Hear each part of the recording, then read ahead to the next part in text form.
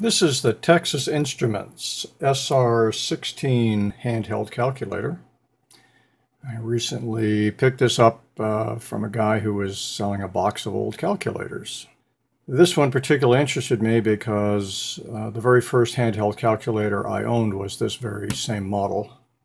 This calculator went into production back in 1974, so as of the making of this video, that would make it 45 years ago, so this is quite the antique. Unfortunately, he also had the power supply brick. Now, I did plug it in and give it a shot. Unfortunately, it did not work. So I decided to open up and see if I could do a little brain surgery and maybe get this thing running again.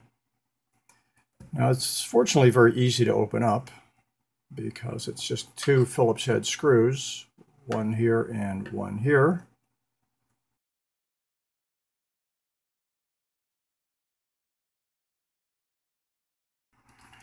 With just those two screws out of the way, the back just conveniently lifts off. Now, when I first opened it, what I found was a battery compartment here for three AA batteries. Now, there had been some foam here that had completely disintegrated. This foam had completely turned to dust. On these uh, metal contacts, there's some bluish material indicating that there was a battery leak this calculator used nickel cadmium batteries. This, of course, is before the days of nickel metal hydride. But what is nice here is it's got regular contacts. You can just pop in three ordinary batteries, and when they go bad or need to be replaced, you just pop them out and put in new ones. And that's so much nicer than devices today where the batteries are soldered into place, or you can't get at them, or you can't remove them, or they're some crazy proprietary shape. You'll, you'll never find a replacement or they'll be really expensive. Just plain old double A's. Very nice. Thank you for that.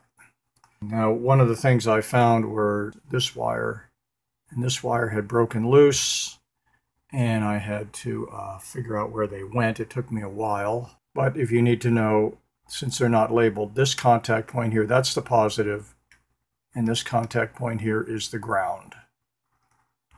Another problem I found is that the power switch, that power switch right there was not functioning. And I, I actually soldered a little piece of metal in here between those contacts so that I could turn the thing on, at least, at least power it up. Now I've gone ahead and put in three nickel metal hydride batteries. And yes, it's actually alive. It's working. Now a word about this power brick. This is early 1970s technology. There's nothing inside of this brick except a step-down transformer. That's all this thing is. You know, it's 115 volts AC in, and it's 5.6 volts AC out. Okay, now on the oscilloscope, when we look at the output, that's what we get, just a straight sine wave. So the power supply produces only a simple AC sine wave. So how do we get our DC voltage? So we have a diode. And so just a simple single diode. So this is basically a half-wave rectifier. It's AC on one side and it's sort of rectified on the other side. I am going to connect the power supply. And we will look at this on our oscilloscope before the diode and then after the diode. Okay, this is the waveform before the diode, simple sine wave, and after the diode, a sine wave with the lower half chopped off. Yep, and that's all it's doing. What this tells us that there's no filtering capacitor on the other side, and that apparently is what the batteries are for. So we're going to go ahead and put the batteries in and try it again. Okay, with the battery in, here we are before the diode, and we're sort of clipping off the very top of that sine wave and here we are after the diode. And I've got my oscilloscope set to uh, one division per five volts. So basically it's giving us five volts. So back before the diode, the clipping at the top there is probably when we're charging the batteries. Basically what this means is you can only run the calculator with the batteries in. Now we are connected to the charger and the batteries and we have, you know, normal operation. If we remove the batteries, This is what the calculator looks like when it's running on the AC power supply, but with no batteries in. See?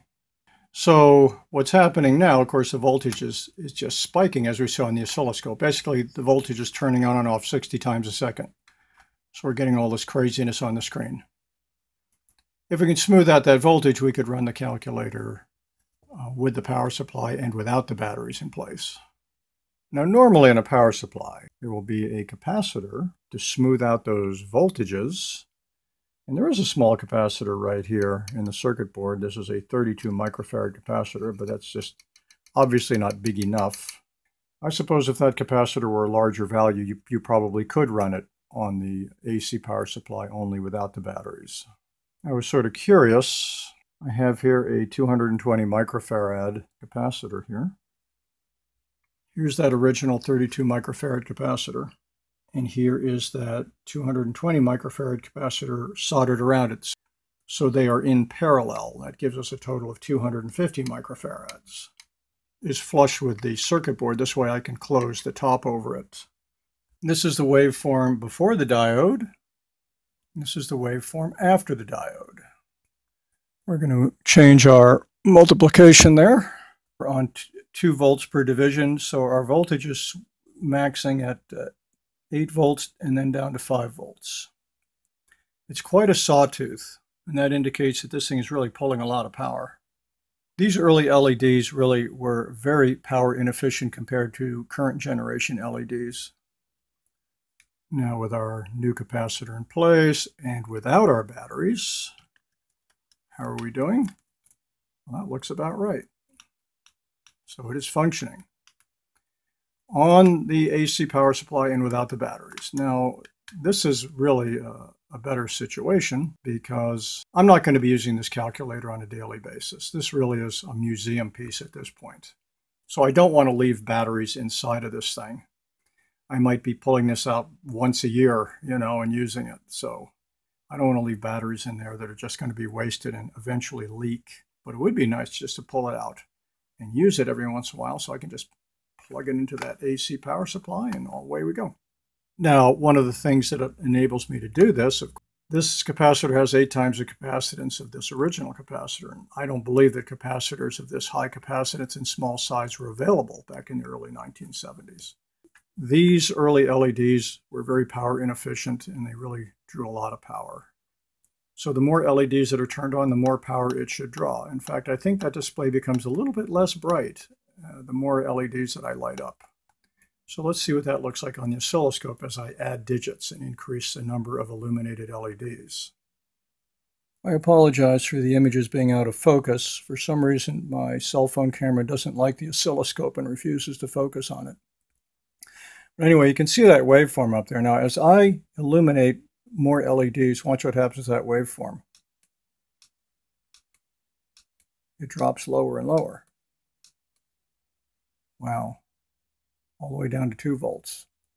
Now I have all 8 LEDs illuminated, and the voltage is now peaking at 8 and dropping all the way down to 2. Now watch what happens when I hit the clear button. It just springs right back up again. So boy, those LEDs really pull a lot of power. Each one of those peaks is separated by only a 60th of a second, so it's just really draining that capacitor fast. This is the battery compartment. And originally in this battery compartment, there were three nickel cadmium batteries. Now this wire here is going to the negative terminal of these three batteries. And this wire connects to this post on the receptacle for the external power supply, you know, right in there. And then there's another wire connected to that same post, this purple wire, which runs over to the middle post on the main power switch. And this post here, this is the positive terminal for the three batteries. And it is soldered to the uh, rectifier diode. And also it is soldered to a wire, which then takes the positive voltage to this point on the main board.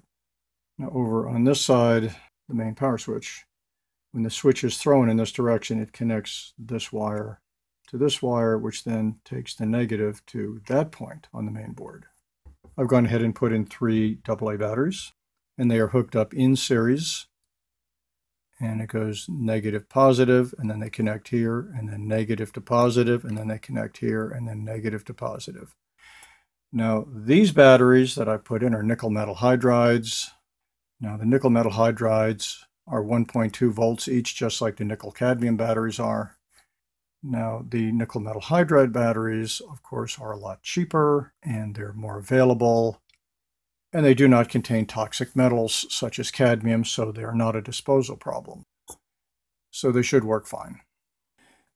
Now I still have the problem of the broken power switch. There's that little switch right there. I, I, soldered in that little piece of metal to basically lock it in the on position, you know, so it's, it's bypassing the switch. I don't know where I would ever find another switch like that. And for that matter, I don't know that I could even get it out. Here's the switch on the outside. I don't think that'll come off. I think it's uh, it's probably glued on top and the switch itself is melted into place. It's on two pegs. They slide it over the pegs and then they melt the pegs, holding it in place. I don't know how on earth I would, would get this thing out even if I could find another one. I might just have to leave it like that. At least this way, it's on. Whenever I, whenever I get connected to the AC, it just turns on automatically. So I, I guess I'm just going to leave the switch the way it is. I don't know how I can fix that without basically destroying the thing. So I found a simple solution to the broken switch, and that is by bypassing it. The calculator will function, it's just that I'm not able to turn it off except by removing the batteries or unplugging the uh, external power supply. So I guess I'm just going to leave it the way it is then. So I found this old SR16 calculator. I was able to bring it back to life after 45 years. I mean, this thing I'm sure hasn't been turned on in decades. But here it is after all these many years and it still works. We had to solder on some broken wires. The wires inside of here all become rather brittle. Some of them had broken off. So we resoldered the broken wires. Also, we added capacitance so we can run it on the power supply without batteries being in place. Uh, as far as the switch goes, the switch is broken. We simply bypassed it so we can turn the calculator on. Again, it's basically a museum piece now. I'm not going to really be using it on a daily basis, so I really don't need to be able to turn it on and off. It's just going to turn on whenever I turn on the power supply, it's just going to come on. And that's probably good enough. That's our Texas Instruments SR16 from 1974.